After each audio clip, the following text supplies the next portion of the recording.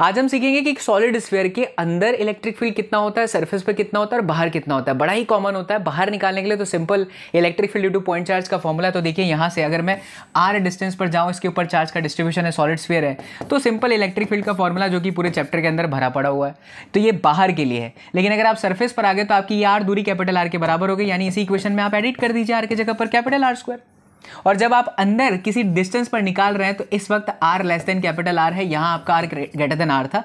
तो आप इसी इक्वेशन को एक बार लिख दो। अंदर के लिए हमने लिखा।